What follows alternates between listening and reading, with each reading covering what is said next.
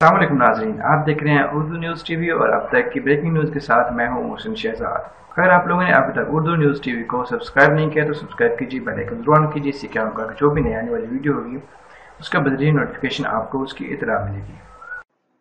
आपको बताते चलें कि वज़ीर रेलवे शेख रशीद ने कहा है कि जो जितना चीखेगा, समझ लें इसका नंबर लग गया। शेख रशीद भी तनकीद में पीछे न रहे। का पोजीशन को तकलीफ़ यह है कि इमरान खान एनआरओ नहीं दे रहा। मीडिया से बातचीत में कहा कि जो जी जितना चीखेगा समझ ले, इसका नंबर लग गया। अपोजिशन को तकलीफ़ है कि एनआरओ नहीं मिल रहा। शेख रशीद का कहना था कि शबाज शरीफ का केस संजीदा है। शबाज शरीफ हमजा को बचाने में नाकाम हो गए।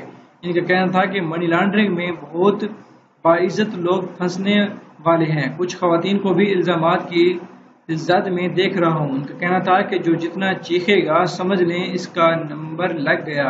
ये थी कुछ अपडेट्स। मजीद न्यूज़ और अपडेट्स के लिए देखते रहिए। Urdu News TV. Thanks for watching. Allah Hafiz.